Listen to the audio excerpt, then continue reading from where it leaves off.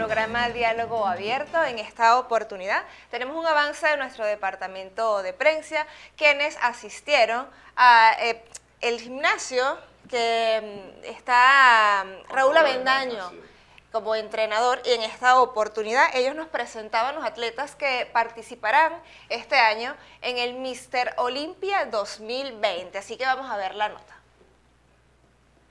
La primera vez que se hizo este evento a nivel latinoamericano, que salió de, de, Las Vegas, que es original de hace, desde el año 65, que lo hizo Joe Wader, eh, se tomó la iniciativa en Acapulco, México. Y el primer venezolano que participó en ese Mister Olympia fue mi persona, eh, junto con José Cermeño, que es un atleta a nivel mundial. Y de ahí no se celebró más, sino en el 2017 se hizo en Medellín, Colombia, la Expo FIME Mundial de, Latino, y de Latinoamérica y se hizo el, el Mister Olympia. Entonces empezó 2017, el 2018, 2019 y este 2020 que el equipo de nosotros de, de va a participar con un equipo completo. El total del evento son eh, nueve atletas en diferentes categorías. Cada categoría eh, llevamos figuri, llevamos categoría eh, eh, bodybuilding, que es culturismo, llevamos categoría wellness, estilo brasileño, llevamos categoría Memphis y llevamos equipo completo en cada categoría prácticamente, del mismo gimnasio. Bueno, ahí están, entonces son barquisimetanos que entrenan acá en Barquisimeto con Raúl Avendaño, ustedes lo escuchaban, que van entonces a este campeonato en Colombia. Yo creo que esto está de moda, hay muchas personas que ahora mismo están en este estilo de vida, si pudiéramos llamarlo de esa manera, que es una alimentación saludable, empiezan a formar su cuerpo y bueno, es parte de este deporte. Sí, no solo eh, Mister, sino también se conoce que la participación femenina, siempre ha estado en este tipo de disciplinas como tal, como un deporte también bastante exigente. Hay, hay mujeres que transforman su cuerpo Totalmente. de tal manera que ¿cómo, es esto? Pero es eso, es parte de, esa, de esa vida que, lleva cada, Pero es como tú lo dijiste, es un, un estilo de vida. Eso, eso requiere un tipo de alimentación, requiere un tipo de entrenamiento. Así, así como el estilo de vida de nosotros los políticos. Tenemos que andar en cualquier lado hablando y hablando y hablando y tratando de convencer a la gente. Y pasa, y pasa, Daniel, que bueno, su estilo de vida también les da que no pueden comer a la hora, que comen a las 3, que comen a las 5, el almuerzo, la cena. Es el estilo de vida que ustedes tienen. Que, ¿Y, qué, ¿Y qué escogieron? Que ustedes tienen que llevar por eso mismo, pues, porque ustedes mismos lo, lo eligieron. Vamos a seguir nosotros hablando del tema de, de la política, específicamente de Juan Guaidó.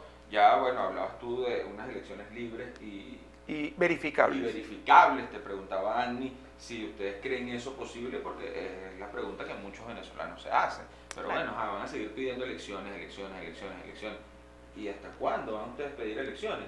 Y hay ese grupo de personas que más allá que son opositores al gobierno de Nicolás Maduro, también están ahora mismo como que viéndolos a ustedes como unos opositores más por pedir elecciones.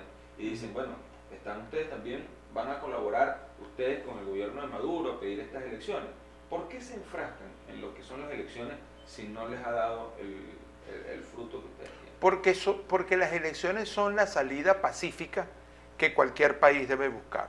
Ahora, no se trata de cualquier tipo de elección, porque es que no se trata de que tú hagas una elección como aquella cuando, cuando estábamos en, eso, en esos liceos, en esas cosas que vamos a elegir la madrina, entonces Agni llegaba y, decía, bueno, vamos a nombrar a Agni este año para que el año que viene le digamos a Carolina o el otro. O sea, sencillamente el tema es que siempre para que la salida sea pacífica tiene que ser una salida de, de carácter electoral.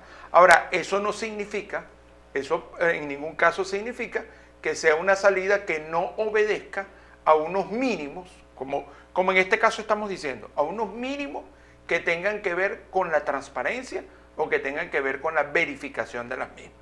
O sea, si, si, en ese, si ese proceso no cumple con esas expectativas, pues por supuesto ningún venezolano, este, o mejor dicho, cada día serán menos los venezolanos que participen en estos procesos electorales. Fíjate que los grandes analistas dicen que uno de los errores de los primeros 40 años o de los 40 años de democracia en Venezuela fue precisamente mantener la institucionalidad de las elecciones. O sea, rigurosamente hacían las elecciones. Y la gente, a partir de unos años, empezó a exigir más. Y la gente quería algo más que elecciones. ¿Entiendes? Y eso conllevó a que se generara una salida como la que nos llevó al triunfo que se dio en el año 98. Entonces fíjate tú lo que está pasando en este momento. En este momento tenemos exactamente los mismos problemas desde el punto de vista social, económico, monetario, educativo, e igual el único elemento que tenemos es, elecciones, con una diferencia.